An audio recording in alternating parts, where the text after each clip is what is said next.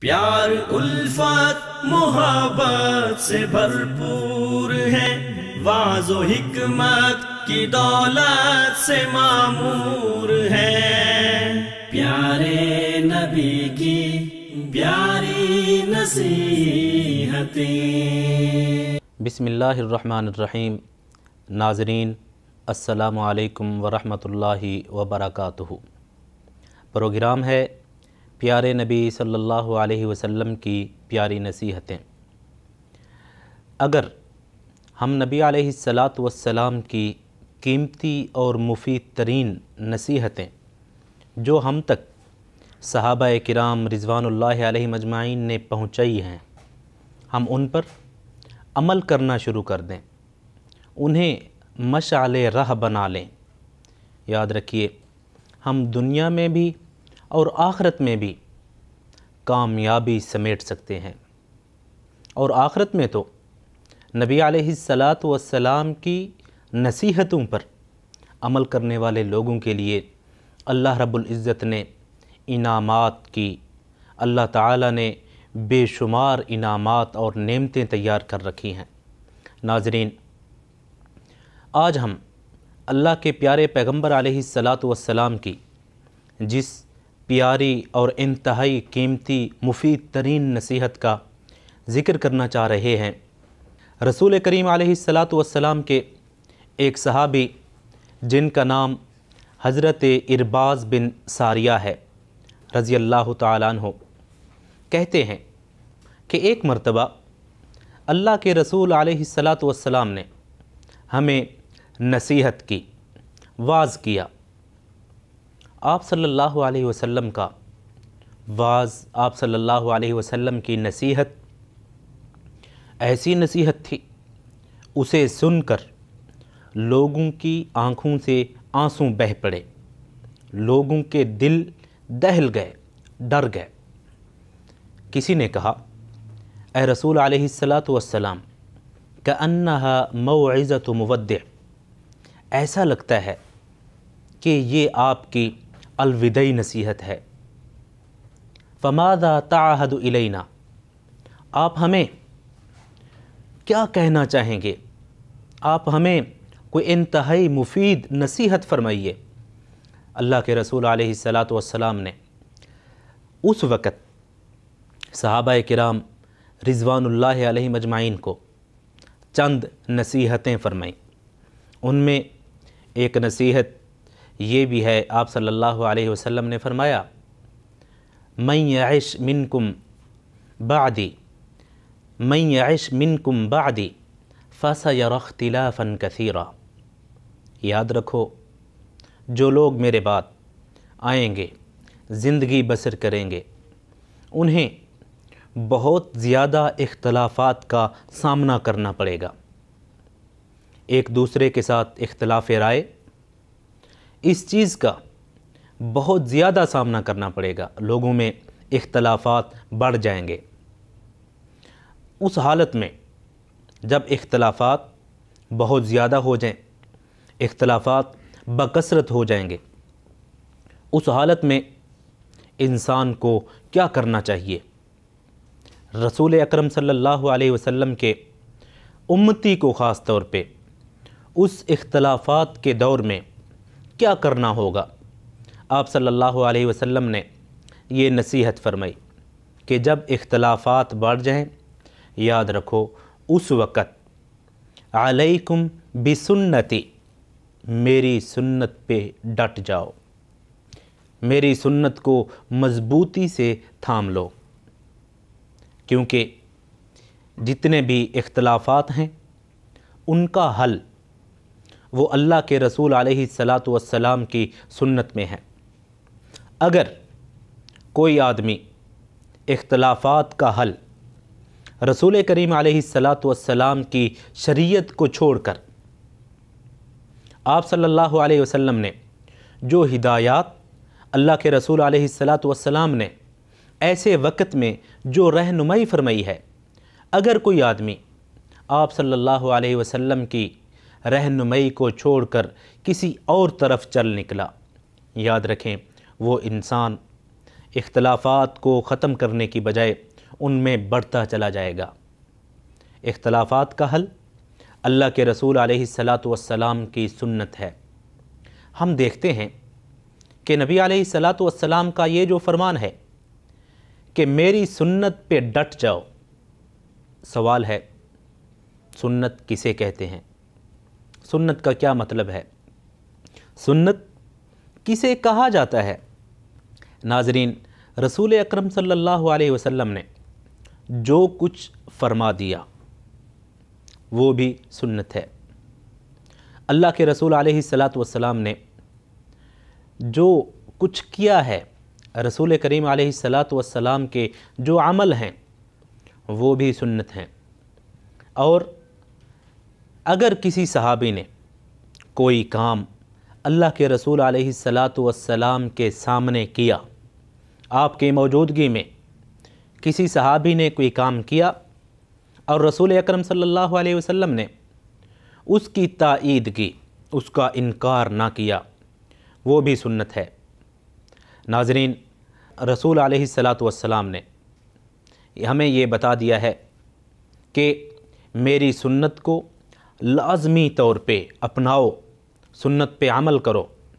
اور سنت ایک ایسی چیز ہے جو اللہ کے رسول علیہ السلاۃ والسلام کے زمانے میں اور آپ صلی اللہ علیہ وسلم کے دور کے بعد جو خیر القرون تھے، جو مثالی ادوار تھے، جن ادوار کی اللہ کے رسول علیہ السلاۃ والسلام نے بہتری کے متعلق خود اپنی زبان اقدس سے آپ صلی اللہ علیہ وسلم نے یہ ارشاد فرمایا، خیر القرون کرنی، ثم الذین یلونہم، ثم الذین یلونہم۔ سب سے بہترین دور، سب سے بہترین وقت، وہ آپ صلی اللہ علیہ وسلم نے فرمایا کہ میرا دور ہے۔ اس کے بعد صحابہ کرام کا، پھر تابعین کا۔ ان ادوار میں سنت اسے بھی کہا جاتا تھا کہ جو اللہ کے رسول نے فرمایا ہے، اللہ کے رسول علیہ السلاۃ والسلام نے کیا ہے۔ یا کوئی کام آپ کی موجودگی میں کیا گیا، آپ صلی اللہ علیہ وسلم نے اس کا انکار نہیں کیا، اس کی تائید فرمائی۔ اسے سنت کہا جاتا ہے۔ سنت عام طور پہ بدعت کے مقابلے میں بھی استعمال کی جاتی ہے۔ رسول کریم علیہ السلاۃ والسلام کا جو طریقہ تھا، اس سے ہٹ کر کسی اور طریقے کو اپنا لینا۔ آپ صلی اللہ علیہ وسلم اور صحابہ کرام کے زمانے میں جو اعتقادات، جو عقائد، جو نظریات، وہاں پر آپ صلی اللہ علیہ وسلم کے دور میں اور صحابہ کرام رضوان اللہ علیہ مجمعین کے دور میں رائج تھے، پھیلے ہوئے تھے۔ صحابہ کرام بڑے بڑے صحابہ کرام اور وہی عقائد، وہی نظریات اللہ کے رسول علیہ السلاۃ والسلام کے سامنے بھی پیش کیے جاتے تھے۔ اللہ کے رسول علیہ السلاۃ والسلام نے اگر ان کی نفی نہیں کی، ان کا انکار نہیں کیا، تو وہ سب کے سب بھی طریقہ رسول میں آتے ہیں۔ ان عقائد، ان نظریات کے برعکس ان کے مخالف اگر کوئی عقائد کوئی نظریات، کوئی آدمی اپنا لے، تو اسے بدعت کہا جائے گا۔ اور اللہ رب العزت نے اور نبی علیہ السلاۃ والسلام نے بدعت سے اپنے آپ کو بچانے کا حکم دیا ہے۔ کیونکہ رسول کریم علیہ السلام نے فرمایا کہ ہر بدعت گمراہی ہے۔ بدعت سے انسان گمراہ ہو جاتا ہے اور گمراہی انسان کو جہنم کی طرف، آگ کی طرف، نقصان کی طرف لے جاتی ہے۔ ناظرین، اللہ کے رسول علیہ السلاۃ والسلام کی سنت رسول کریم علیہ السلاۃ والسلام کا جو طریقہ ہے، اس کی اہمیت، سنت کی اہمیت اور سنت کی فضیلت۔ اس کے متعلق ہمیں قرآن مجید کی آیات اور رسول اکرم صلی اللہ علیہ وسلم کے مقدس فرامین سے کیا ملتا ہے، آئیے دیکھتے ہیں۔ اللہ رب العزت نے قرآن مجید میں ارشاد فرمایا ہے کل ان کن تم تو اللہ فتبعونی یحببکم اللہ۔ اے لوگو، اللہ رب العزت نے پیارے پیغمبر علیہ السلاۃ والسلام کو یہ حکم دیا کہ امام الانبیاء علیہ السلاۃ والسلام، ان لوگوں کو یہ بتا دیجیے، اے اللہ تعالیٰ کیا بتانا ہے؟ فرمایا، انہیں کہہ دیجیے کہ اگر تم اللہ تعالیٰ کی محبت حاصل کرنا چاہتے ہو۔ تم چاہتے ہو کہ تم لوگ اللہ رب العزت کے محبوب ترین بندے بن جاؤ۔ اس کے لیے تمہیں ایک کام کرنا ہوگا۔ وہ کون سا کام ہے؟ فتبعونی امام الانبیاء صلی اللہ علیہ وسلم کی اتباع۔ رسول اکرم صلی اللہ علیہ وسلم کی پیروی۔ آپ صلی اللہ علیہ وسلم کی اطاعت، جو لوگ رسول علیہ السلاۃ والسلام کی اطاعت یعنی کہ اللہ کے نبی علیہ السلاۃ والسلام کی سنت پر عمل کرنا شروع کر دیں گے۔ اللہ رب العزت کہتے ہیں، یحببکم اللہ۔ اللہ تعالیٰ تم سے محبت بھی کریں گے۔ وَيَغْفِرْ لَكُمْ ذُنُوبَكُمْ صرف محبت ہی نہیں، بلکہ تمہارے پہلے جتنے بھی گناہ ہوں گے ان تمام گناہوں پہ اللہ تعالیٰ معافی کا قلم چلا دیں گے۔ تمہارے سب گناہوں کو اللہ تعالیٰ معاف فرما دیں گے۔ واللہ غفور الرحیم۔ اللہ رب العزت بہت بڑا مہربان اور اللہ تعالیٰ بخشنے والا ہے، بہت بڑا مہربان ہے۔ اللہ رب العزت نے قرآن مجید میں ارشاد فرمایا ہے، وما آتاکم الرسول فخذوه وما نہاکم عنہ فانتہو اے لوگو رسول علیہ السلاۃ والسلام جس چیز کا تمہیں حکم دے دے، آپ صلی اللہ علیہ وسلم، جس بات کا، جس کام کا تمہیں حکم دے دیں، اس پر عمل ضرور کرو۔ وما نہاکم عنہ فانتہو اور جس کام سے اللہ تعالیٰ کے پیارے پیغمبر علیہ السلاۃ والسلام تمہیں روک دیں، تو اس کام سے باز آ جاؤ، رک جاؤ اس کام سے۔ ناظرین اللہ رب العزت کے پیارے پیغمبر علیہ السلاۃ والسلام کے فرامین کی یہ حیثیت ہے کہ اللہ تعالیٰ نے یہ حکم دیا ہے کہ میرے پیارے پیغمبر علیہ السلاۃ والسلام، تمہیں جس کام کا حکم دیں، ان پہ عمل ضرور کرو اور جن چیزوں سے روک دیں، ان سے ضرور رک جایا کرو۔ کیونکہ اللہ کے پیارے پیغمبر علیہ السلاۃ والسلام جس کام کا حکم دیتے ہیں جس کے کرنے کا حکم دیتے ہیں، اس میں اجر اور ثواب ہوتا ہے۔ اس کام کے کرنے سے اللہ تعالیٰ خوش ہوتے ہیں، اللہ تعالیٰ راضی ہوتے ہیں۔ اور جس کام کے کرنے سے رسول علیہ السلاۃ والسلام نے روک دیا ہے، اس کام سے رک جانے میں اجر و ثواب ملتا ہے۔ اللہ تعالیٰ خوش ہوتے ہیں، اللہ رب العزت راضی ہوتے ہیں۔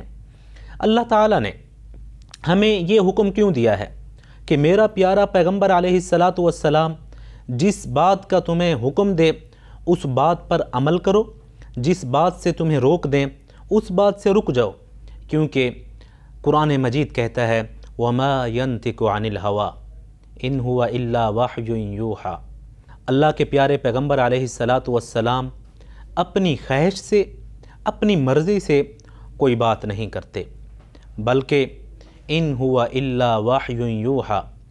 رسول کریم علیہ السلاۃ والسلام جو کچھ بھی بولتے ہیں، رسول اکرم صلی اللہ علیہ وسلم کی زبان اطہر سے جو کچھ بھی نکلتا ہے، آپ صلی اللہ علیہ وسلم کے زبان سے، آپ صلی اللہ علیہ وسلم کی لسان اطہر سے جو کچھ بھی نکلتا ہے، وہ اللہ رب العزت کی وہی ہوتا ہے۔ وہ وحی الہی پہ مبنی ہوتا ہے۔ ناظرین، رسول کریم علیہ السلاۃ والسلام کی سنت کی اہمیت ہمیں احادیث میں کیسی ملتی ہیں؟ اللہ کے نبی علیہ السلاۃ والسلام نے رسول اکرم علیہ السلاۃ والسلام کا ارشاد گرامی ہے، سیدنا ابو حریرہ رضی اللہ تعالیٰ عنہ۔ کہتے ہیں رسول کریم علیہ السلاۃ والسلام نے فرمایا، کل امتی ید خلون الجنہ.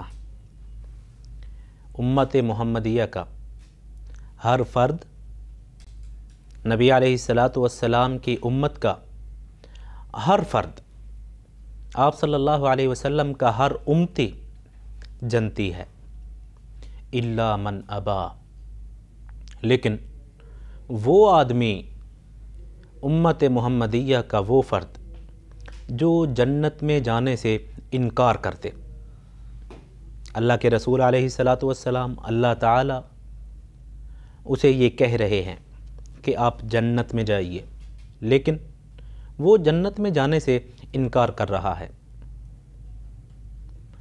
رسول علیہ السلاۃ والسلام نے جب یہ بات فرمائی کہ ساری امت جنت میں جائے گی، سوا ان لوگوں کے جو جنت میں جانے سے خود انکار کر دیں گے۔ کہا گیا، اے رسول علیہ السلاۃ والسلام، جنت میں جانے سے کون انکار کرتا ہے؟ ہر آدمی چاہتا ہے کہ میں جنت میں جاؤں اور حصول جنت بہت بڑا مقصد ہے۔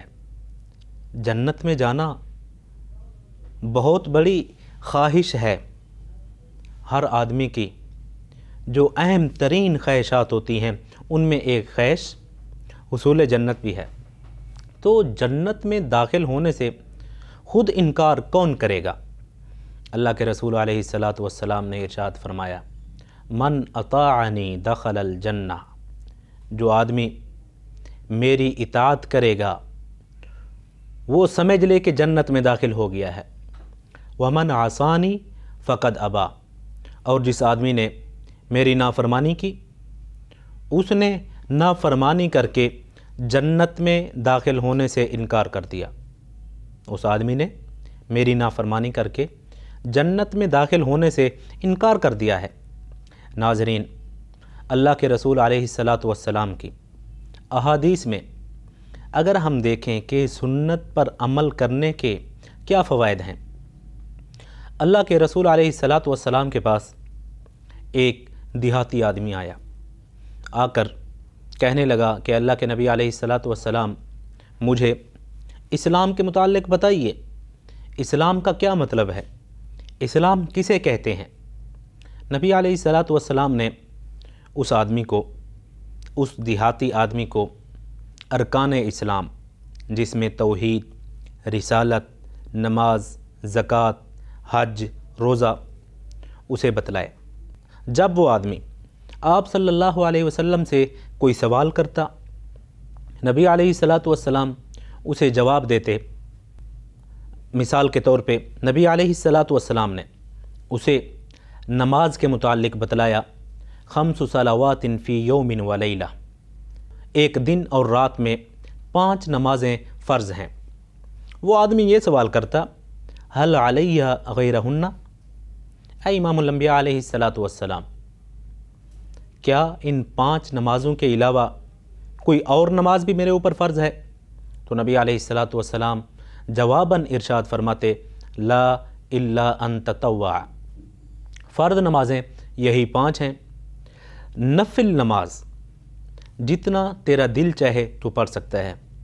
اسی طرح اللہ کے رسول علیہ السلاۃ والسلام نے اسے روزوں کے متعلق بتایا، حج کے متعلق بتایا، اس آدمی کو زکوٰۃ کے متعلق بتایا۔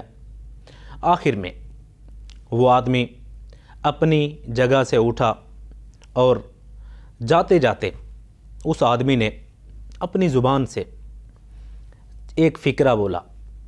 اس آدمی نے اپنی زبان سے ایک جملہ ادا کیا۔ نبی علیہ السلاۃ والسلام نے اس آدمی کو اس دیہاتی آدمی کو اس ایک فکرے کی وجہ سے جنت کی خوشخبری سنا دی، کامیابی کی نوید سنا دی۔ آخر ایسا کون سا فکرہ ہے جو اس آدمی نے ادا کیا تو اللہ کے نبی علیہ السلاۃ والسلام نے اپنی مبارک زبان سے اس دیہاتی آدمی کو جنت کی خوشخبری دی، کامیابی کی نوید سنا دی۔ وہ فکرہ یہ ہے اس آدمی نے جاتے جاتے یہ کہا، والذی نفس محمد بیدہ لا ازید علی هذا ولا انقص منہ شیئا. اے محمد الرسول اللہ صلی اللہ علیہ وسلم، اس اللہ رب العزت کی قسم، جس کے قبضہ اور قدرت میں میری اور آپ کی جان ہے۔ آپ نے مجھے جو ہدایات دی ہیں آپ نے مجھے جو سمجھایا ہے، یا دوسرے الفاظ میں ہم یہ کہہ سکتے ہیں کہ آپ کی جو سنت ہے، میں اس کے مطابق عمل کرنے کی کوشش کروں گا۔ نہ اس سے بڑھنے کی کوشش کروں گا اور نہ ہی اس میں کوئی کمی کرنے کی کوشش کروں گا۔ نبی علیہ الصلاۃ والسلام نے اس دیہاتی آدمی کی زبان سے جب یہ الفاظ سنے تو اللہ کے رسول علیہ الصلاۃ والسلام نے ارشاد فرمایا افلح ان صدقہ۔ یہ دیہاتی آدمی کامیاب ہو گیا ہے۔ کامیابی سے ہم کنار ہو گیا ہے۔ اگر اپنی اس بات میں یہ سچا ہے، ناظرین، اللہ کے رسول علیہ الصلاۃ والسلام کی سنت کا پابند ہو جانا یہ جنت کی ضمانت ہے۔ ناظرین، اگر کوئی آدمی نبی علیہ الصلاۃ والسلام کی سنت میں کمی یا بیشی کرتا ہے۔ اپنی مرضی اور اپنی خواہش کے مطابق سنت کو بڑھا بھی لیتا ہے اور اس میں کمی بھی کر لیتا ہے۔ تو یہ کوئی پسندیدہ عمل نہیں، بلکہ ایک انتہائی ناپسندیدہ عمل ہے، ناپسندیدہ کام ہے، جس سے ہمیں بچنا چاہیے۔ کسی ام المؤمنین کے پاس تین آدمی آئے، انہوں نے آ کر امام الانبیاء علیہ الصلاۃ والسلام کے متعلق پوچھا۔ رسول کریم علیہ الصلاۃ والسلام اس وقت گھر میں موجود نہیں تھے۔ ان تینوں نے اللہ کے نبی علیہ الصلاۃ والسلام کی عبادت کے متعلق آپ کی زوجہ محترمہ سے، ام المؤمنین سے دریافت کیا کہ نبی علیہ الصلاۃ والسلام عبادت کیسے کرتے ہیں اور کتنی کرتے ہیں۔ آپ صلی اللہ علیہ وسلم کی زوجہ محترمہ نے ان تینوں کو جواباً آپ صلی اللہ علیہ وسلم کی عبادت کے متعلق بتلا دیا۔ وہ تین آدمی جاتے جاتے ایک ایک بات کر گئے۔ ان میں سے ایک نے کہا کہ آج کے بعد میں جب تک زندہ ہوں، روزانہ ساری رات میں قیام کروں گا، نماز پڑھوں گا۔ دوسرے نے کہا کہ آج کے بعد ساری زندگی میں روزے رکھتا رہوں گا۔ اور تیسرے نے کہا کہ آج کے بعد میں کبھی شادی اور نکاح نہیں کروں گا۔ وہ تینوں آدمی یہ گفتگو کر کے، یہ باتیں کر کے وہاں سے چلے گئے۔ جس وقت امام الانبیاء صلی اللہ علیہ وسلم گھر تشریف لائے، آپ صلی اللہ علیہ وسلم کی زوجہ محترمہ نے ام المؤمنین نے رضی اللہ تعالیٰ عنہ، آپ صلی اللہ علیہ وسلم کو ان تینوں کی یہ گفتگو جو انہوں نے یہ باتیں کی تھیں، آپ صلی اللہ علیہ وسلم کو بتائیں۔ اللہ کے رسول علیہ الصلاۃ والسلام نے ان تینوں کی اس گفتگو پر غصہ کا اظہار فرمایا۔ آپ صلی اللہ علیہ وسلم نے فرمایا کہ کیا یہ لوگ میری سنت سے تجاوز کرنا چاہتے ہیں؟ کیا اگر ایک آدمی نماز پڑھ رہا ہے، کیا کوئی غلط کام کر رہا ہے؟ اگر کوئی آدمی روزہ رکھ رہا ہے، تو کیا وہ کوئی غلط کام کر رہا ہے؟ اور کیا اگر کوئی آدمی اپنے آپ کو اللہ کی عبادت کے لیے وقف کرنے کے لیے شادی اور نکاح سے انکار کر دیتا ہے، تو کیا وہ غلط کر رہا ہے؟ جی ہاں اگر کوئی آدمی نماز میں اللہ کے رسول علیہ الصلاۃ والسلام کی سنت کو بھول جاتا ہے۔ سنت کے مطابق ادا نہیں کرتا۔ یاد رکھیے، وہ آدمی غلط کر رہا ہے۔ اسی طرح اگر کوئی آدمی روزہ رکھنے میں اللہ کے رسول علیہ الصلاۃ والسلام کی سنت کو مد نظر نہیں رکھتا، وہ بھی غلط کر رہا ہے۔ اسی طرح باقی جتنے بھی معاملات ہیں، ان تمام میں اگر کوئی انسان، اس کائنات کا کوئی بھی انسان اللہ کے رسول علیہ الصلاۃ والسلام کی سنت کو مد نظر نہیں رکھتا، یاد رکھیے، وہ غلط کر رہا ہے۔ عبادت وہی، عبادت کا طریقہ وہی جو اللہ کے رسول علیہ الصلاۃ والسلام نے بتا دیا ہے۔ اور اللہ تعالیٰ کی طرف سے جو اجر، جو ثواب ملتا ہے، وہ اسی سنت پر عمل کرنے کا ملتا ہے جو نبی علیہ الصلاۃ والسلام کی سنت ہے۔ آپ صلی اللہ علیہ وسلم کی احادیث سے ثابت ہے۔ ناظرین ایک اور انتہائی اہم مسئلہ جو سنت سے تعلق رکھنے والا ہے۔ کچھ لوگ قرآن مجید کو کافی سمجھتے ہیں کہ قرآن مجید ہی ہماری رشد و ہدایت، ہماری کامیابی کے لیے کافی ہے۔ اگر ہم صرف قرآن مجید پہ ہی عمل کر لیں تو ہم کامیاب ہیں۔ اللہ کے رسول علیہ السلاۃ والسلام کی سنت پہ عمل کرنے کی ہمیں کوئی ضرورت نہیں ہے۔ اس کے متعلق حضرت عمران بن حسین رضی اللہ تعالیٰ عنہ، جو نبی اکرم صلی اللہ علیہ وسلم کے صحابی ہیں، ان سے ایک آدمی نے کہا کہ آپ ایسی ایسی حدیثیں کہاں سے لے آتے ہیں جن کا ذکر قرآن مجید میں نہیں ہے؟ حضرت عمران بن حسین رضی اللہ تعالیٰ عنہ نے فرمایا کہ آپ مجھے احمق آدمی لگتے ہیں۔ آپ مجھے بے عقل آدمی لگتے ہیں۔ کیا قرآن مجید میں آپ کو کہیں یہ ملتا ہے کہ ظہر کی چار رکعات ہیں، عصر کی چار رکعات ہیں، مغرب کی تین رکعات ہیں؟ ناظرین، یاد رکھیے، صرف قرآن مجید پہ اکتفا کرنا یہ ایک غلط نظریہ ہے جو پھیل رہا ہے۔ حقیقت یہ ہے کہ شریعت کے جو مآخذ ہیں، جہاں سے ہم نے شریعت لینی ہے، ان میں سب سے پہلا درجہ کتاب اللہ قرآن مجید کا ہے اور دوسرا درجہ اللہ تعالیٰ کے پیارے پیغمبر علیہ السلاۃ والسلام کی سنت کا ہے۔ تو ناظرین، قرآن مجید کی تشریح، قرآن مجید کی تفسیر وہ اللہ کے رسول علیہ السلاۃ والسلام کی سنت ہے۔ رسول کریم علیہ السلاۃ والسلام کی حدیث ہے۔ اللہ رب العزت نے قرآن مجید میں کافی ساری عبادات ہیں جن کا صرف حکم دے دیا ہے۔ ان عبادات کا طریقہ انہیں کیسے ادا کیا جائے گا؟ اگر ہم نماز کو دیکھ لیں، نماز کیسے پڑھنی ہے؟ اس کا طریقہ ہمیں آپ صلی اللہ علیہ وسلم کی حدیث اور سنت سے ملتا ہے۔ حج کا اللہ تعالیٰ نے حکم دے دیا ہے۔ حج کا مکمل طریقہ کار وہ ہمیں رسول اکرم صلی اللہ علیہ وسلم کی حدیث اور سنت سے ملتا ہے۔ اسی طرح زکوٰۃ اس کی ڈیٹیل، زکوٰۃ کا نصاب کیسا ہے، کتنا ہے اور کب ادا کرنی ہے، وہ ہمیں اللہ کے رسول علیہ السلاۃ والسلام کی سنت سے ملتا ہے۔ ناظرین، اختلافات کو مٹانے کے لیے ہمیں اللہ کے رسول علیہ السلاۃ والسلام کی اس قیمتی نصیحت کہ میری سنت پہ ڈٹ جاؤ، اس پہ عمل کرنا ہوگا۔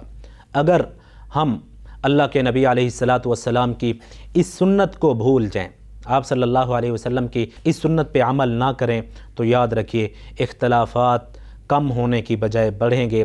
اللہ رب العزت سے دعا کرنی چاہیے کہ اللہ رب العزت تمام مسلمانوں کو اختلافات بھلا کر اللہ کے پیارے پیغمبر علیہ السلاۃ والسلام کی سنت پر عمل کرنے کی توفیق عطا فرمائے۔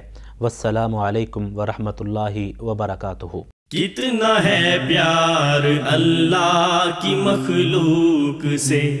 اس کی تکلیف ان کو گوارا نہیں۔ جن کی رشد و ہدا رہنمائی کے بن۔ دونوں عالم میں اپنا گزارا نہیں۔ پیار الفت محبت سے بھرپور ہے۔